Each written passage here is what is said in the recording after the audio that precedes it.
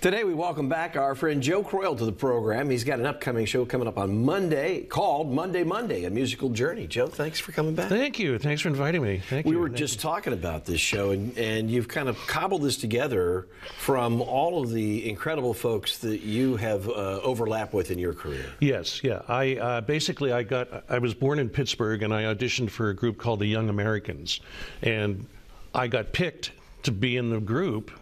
And it was amazing, you know. I mean, I was 17 years old, and it was just fabulous, you know. And uh, uh, when I got into the group, I was in it for like two years, and uh, we did Ed Sullivan shows.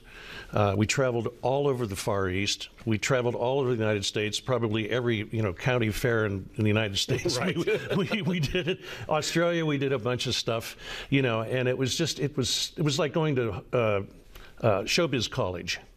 And you then rattled off a, a whole string of, of just incredible performers that you've worked with I- over the years. Yes, I've, I've worked with, uh, I did a show with Sally Struthers. Sally did a, a, a spin off series called Gloria. Yes. And uh, she asked me to sing the theme song for that show. For that show, so it was great, you know. very cool. A- and I worked with Ann-Margret, and uh, that was a blast. That was just so much fun. And we were talking about a mutual friend of ours, Peter Marshall. Peter Marshall. Well, Pete's Pete's so great. He's just like, man, what a guy. You, You know, everybody so great. remembers Peter as the host uh, of, of Hollywood Hollywood, Squares. Squares, Sure. but he's an incredible singer. He's, a, Well, he's a yes, yes, he's done a lot of Broadway.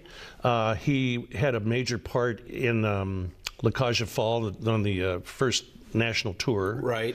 And uh, he's he's just he's a great singer. and Donald O'Connor. You said Donald O'Connor. I was was in a group. I was in a group called the Doodletown Pipers, and uh, we got hired to open for Donald O'Connor, and so he was always my favorite. My favorite favorite dancer in the movies, right?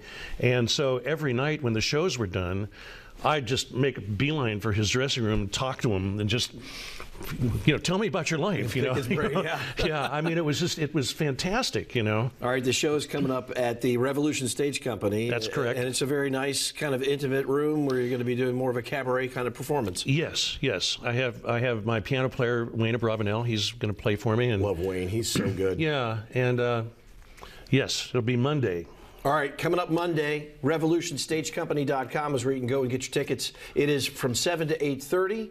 Again, revolutionstagecompany.com. I'm looking forward to coming out. I want to see this show. So, uh, and then I'll go backstage and pick your brain the way you did Donald O'Connor. Okay.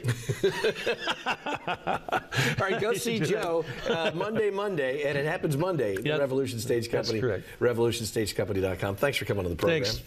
Thanks so much, Patrick. Appreciate it. Look forward to seeing you on Thank- Monday. Yeah, great, great.